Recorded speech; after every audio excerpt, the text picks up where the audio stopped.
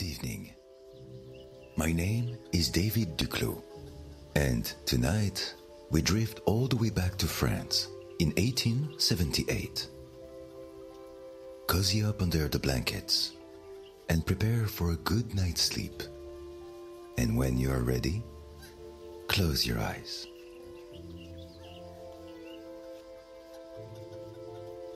We have left the bustle of Paris by train for the lush green countryside of Pays de Loire. The landscape is scruffy with hills and woods which echo with the birdsong of early summer. Farmers work their fields, turning the fertile soil like their families have done for centuries. Claude, a talented impressionist painter, has met us in his village. He will show us his studio and the countryside that is his muse, inviting you to experience the tranquil scenery that inspires his dreamy works of art.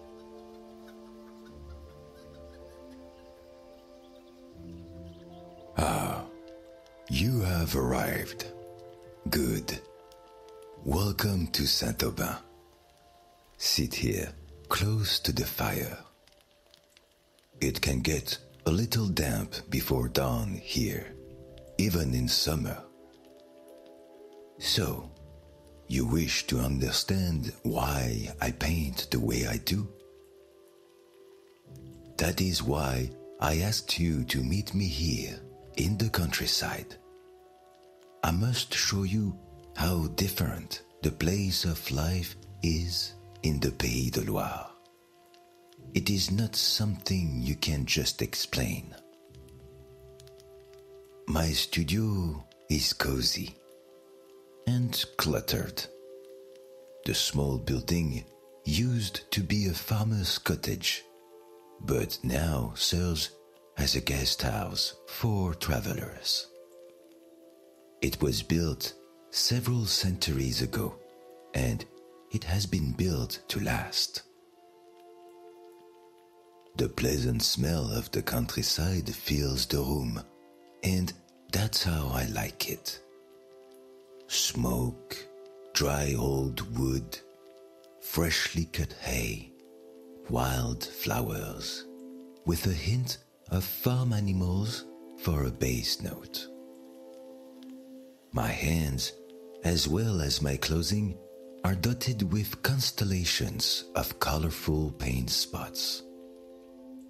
I should have tidied up my painting supplies. They are scattered everywhere.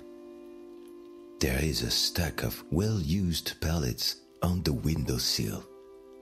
Several wooden easels lean on the far wall.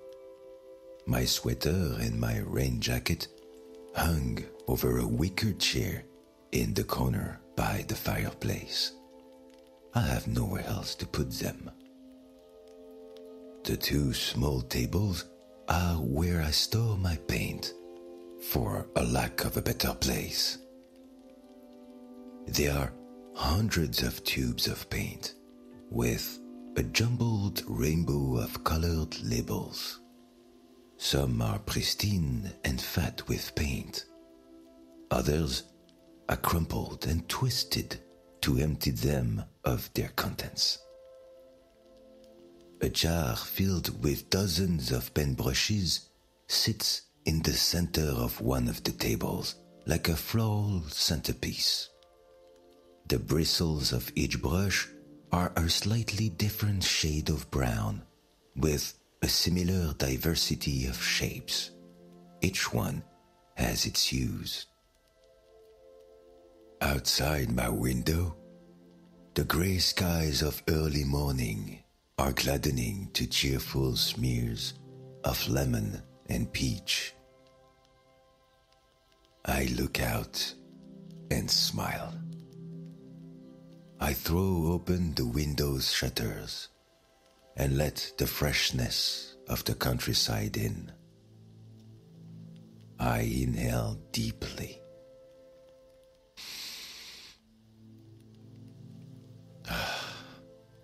The delicate scent of flowers comes through first. It is joined by hints of muskiness from dark, muddy ditches. The sound of its trickling waters burbles steadily as it flows past the old mill. Life is wonderfully slow here in the Pays de la Loire. Time in the countryside is exactly what the soul needs. Here, there is not the constant to and fro of carriages rushing outside the window. Well, Monsieur Le May's hay wagon does go by twice a day, but it is slow. The rhythm of those old wooden wheels is part of nature itself. Victoire, the gentle old horse that pulls the wagon, surely has been pulling hay since the time of the revolution. Do you want to know how sleepy it is in Saint Aubin? Three weeks ago, we had a thrilling hailstorm pass through here. It damaged Madame Joubert's pear orchard. That is still the talk of this valley, and it will be for another month. That's how quiet it is out here. Deliciously boring. From somewhere in the distance, a rooster yodels the morning's first song. The high notes echo through the land, suspended in the haze. There, hear that? That is the French countryside. Would you believe that when I heard my first rooster, it startled me? I was fresh in from Paris, where one must be wary. In this village, there is a leisurely pace to every element of life. A farmer's thoughts do not race and jumble together to keep up with the heartbeat of the capital. There is no need for that. The countryside itself keeps the beat and dictates the rhythm. We rise and fall with the sun. The roosters know when the time has arrived to celebrate another dawn. Paris is Paris, and the countryside is France. Do you understand? Don't get me wrong. Paris is my lifeblood, my heart. But the countryside of France is my soul. I walk over to a large canvas that is leaning against the wall. It depicts a dreamy, almost unfinished landscape of hills descending into the horizon. A few brush strokes of a sap green mix create a tree, and single stab of orange makes a line of bushes. You have to paint quickly if you want to be faithful to the light. There is no time for the details of each tree. You must be spontaneous if you want to capture the colors. The sun, well, the sun is the engine of light, but it is fickle. I draw my finger across the speckled egg blue sky on the canvas. Then I tap a scruffy line of green and orange bushes that runs alongside a small road in the foreground. Paris has many things, but I could never get the light right there. Ironic in the city of light. The light here at dusk is magic. The clementine cinders of sunset throw gilded light on the blackberry bushes if only for a few moments. Would you believe it took me almost a week of experimenting with paints at sunset to recreate that exact color there? But these were not wasted moments. We only get so many sunsets in our lives. While this number is not for us to know, we must never waste the opportunity to take one in. I hope you agree with me about that. Never waste a sunset. I pluck a dry flower from a vase by the window. Look at this flower. Yes, it is a beautiful object, but it is still just one object in a pot.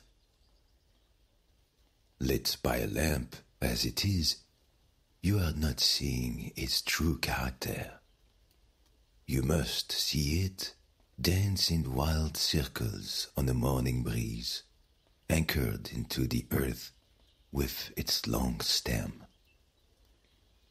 You have to see this flower in its true context. See it as part of a great throng of other flowers and the grasses that protect them.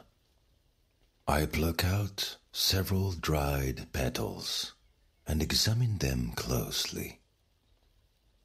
This humble flower is a blank canvas for the elements. To witness these white petals glow in the flames of twilight is to know them truly.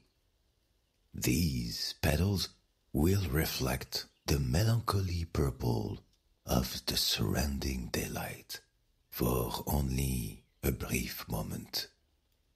I know this because I have tried and failed to find that perfect shade inside of my paint tubes, but that one has eluded me for thus far.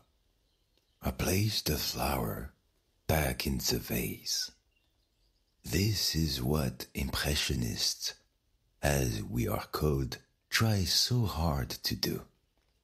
To capture these fleeting colors, these natural accidents. Painting outdoors in the fresh air of the countryside, that is the only way to find these hidden colors. Another medium sized canvas catches my attention. I balance it on the table and stare at it for a long moment. I am a proud father, looking upon the child, who I have realized is a perfect and divine creation in every way. The painting depicts a different valley than the first canvas. It is filled with an array of small, detailed greenery. The angled corners of several farm buildings grope out of the landscape in places, giving the impression of a small agricultural settlement. The scene is dominated by a flat topped hill which looms on the horizon. It glows as if lit from within by the awakening dawn. The lines are blurred and rough in places, as if drawn with one swift stroke and never refined later in the studio, like the previous school of painters would have deemed necessary. There is a sense of motion to the lines, an urgency. I gaze at the landscape and it makes me smile. I feel as if I am traveling through a faraway land. Here, this one I finished last week. It is that ridge just outside of town. There, on the far side, that big wrinkly green is the one they call the giant. To me, it looks more like a piece of baguette, but I don't think that will catch on. So you can tell from looking at this painting that it was a sunny summer morning in our valley. See this soft glow on the far side? Of course, that is the low morning sun. In fact, you can look at it and gather that it was just past 10:30 in the morning when this moment was captured, more or less. If you know this valley, then that is something you can do. I'm sure the farmers that live in those houses could tell you what month this was painted, maybe even the week. I run my fingers over the miniature creases and mounds of color again, the topography of the paint itself. This deep orange and the way it settles into the folds of that hill, is it not a kind of magic? I went through maybe four different tubes of cadmium red light and several of lemon yellow and yellow ochre too. I could never get that exact shade of orange until this. See how it looks like it's glowing, like stained glass? Well, that takes some trying, you know. Do you see what I tried to do here on this canvas? The light kept changing because of the clouds and the time of day.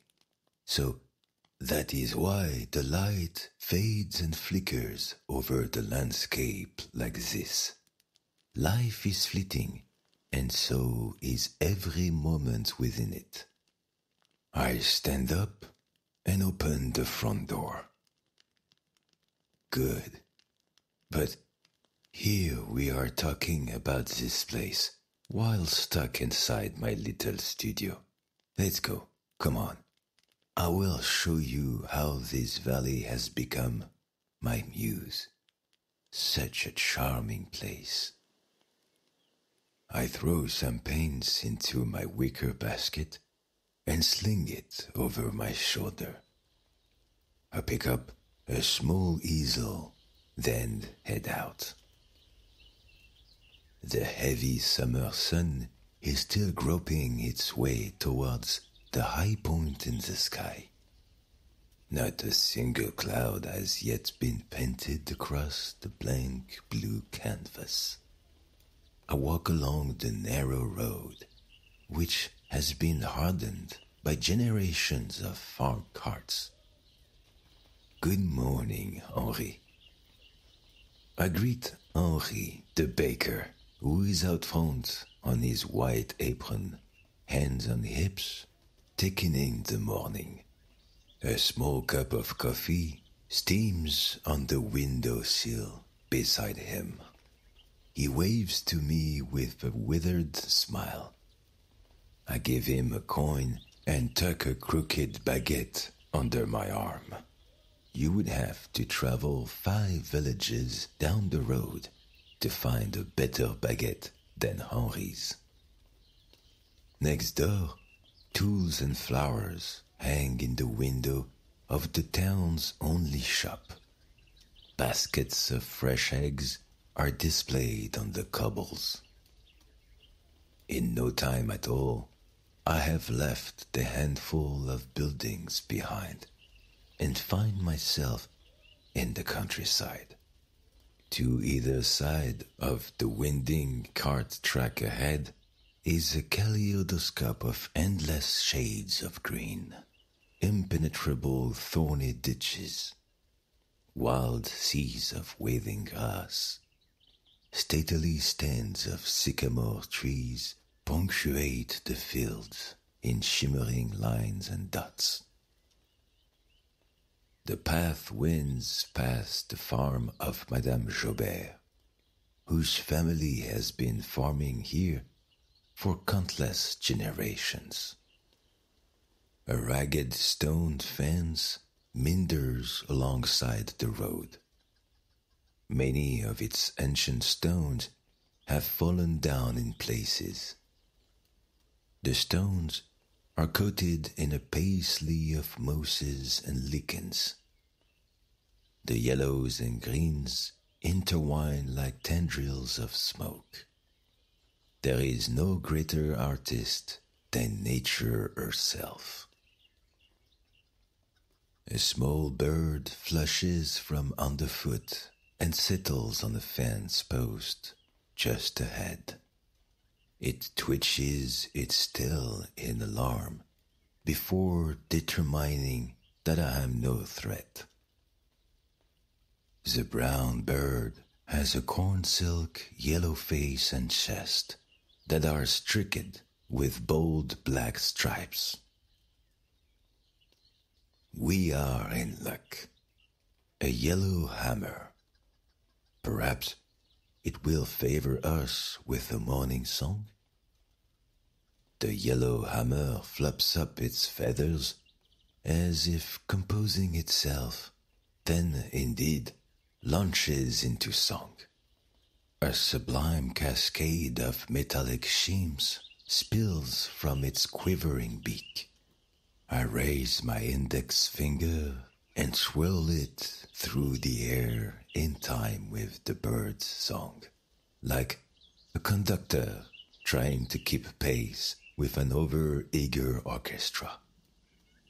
A series of lifting phrases cuts through the thickness of the morning air.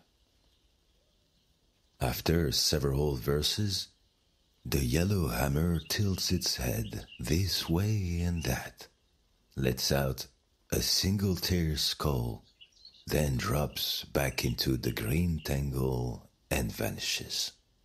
But its outburst seems to have awakened the spirit of song in the field. Within moments, a robin begins to sing from the low branches of a nearby oak tree. Another robin responds from the next field over as if in a melodic conversation. A fieldfare lets loose a waterfall of trebly bird song from some hidden perch, and then a blackbird. Several other species I cannot identify join in in the morning chorus. Surrounded by the dervish of birdsong, I continue down the path. The sun is on my face, and a soft breeze carries a bouquet of wild flowers from several fields over. I hold my arms to the sky and walk several slow spirals down the path as if in rapture. I wear a huge smile that lines my face with happy creases. There, has the country not already won you over? Do you not see now how it nourishes the very soul?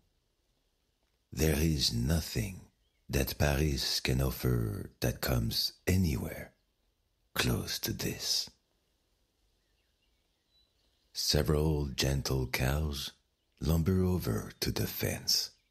I study them I take note of how the shadows settle in the complex contours of bones and muscles under their spotted hides.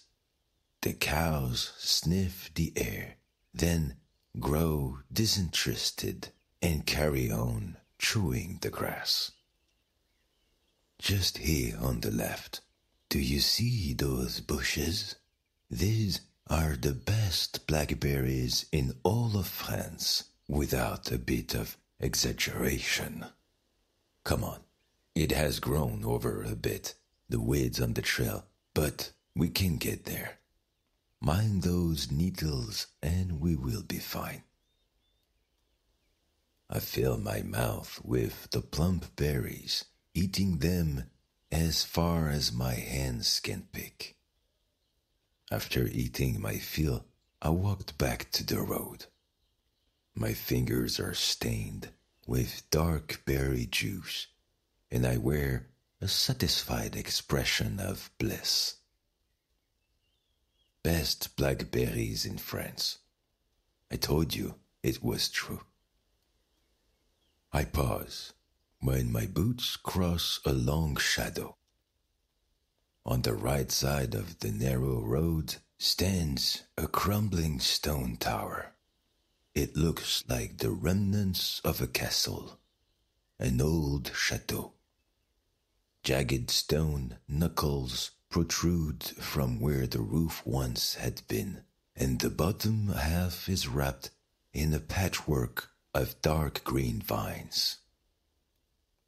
Oh, look at this one. Would you believe I never noticed it before? So focused as I was on the blackberries on the other side of the road. The vines stretch to the ground and carry on through the wild field in unkept rows. I approach the closest clump of vines and discover a bounty of grapes clustered here and there on the vines. This must be an abandoned vineyard. How wonderful! I must ask the innkeeper about the history of this old place. I crouch low in front of the grapes. The morning dew still clings to their purple skin. The cluster of grapes glisten and trap the perfect morning light, like a treasure of forgotten diamonds. Well, I will have to include all of this in a painting. Maybe I will wait until those grapes get a little bigger. But I will be back. I carry on walking up a gentle hill, then turn into a field of tall grass. Everything we have been shown today, all of that will be in the next canvas I paint. Maybe you will not see the yellow hammer singing, or smell the ditches and fields, but I will show you those things nonetheless.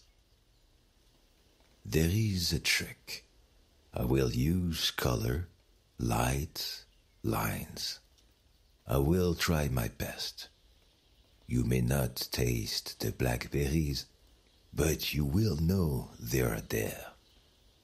Maybe I will even use the juice of the berries themselves when I mix my color for that. But I can't tell you all my secrets, can I? The sun beams down from almost directly overhead, shrinking shadows with its bright yellow light. I push through the grassy field to an era where the sunlight is dappled by the time worn oaks and poplars that stand guard. I sit in a patch of lush amber grass, softer than any bed. I survey the field, roll my jacket up for a pillow, and then lay back into the embrace of the grass. The leaves above shush and wave with the help of a light breeze. The nearby stream bubbles and trickles, adding to the lazy natural rhythm of a late morning. There is a sweetness of field flowers heavy in the air here. The sun is so warm and soothing on my face. I feel like I am lifting slowly above the fields. The last thing I see before my eyelids close is a thin slice of blue, almost like the profound cerulean blue of the countryside sky. But in truth, it is a color no paint could ever reproduce. I trust you have found our trip to the French countryside to have been a relaxing experience. Let the hush of the swaying grasses be your lullaby. You are as light as the wispy clouds that drift high above the fields. You will be carried off to a place that is safe and calm. A land of painted dreams where the sun is warm on your face and the sleep is deep and restful. Good night and sweet dreams.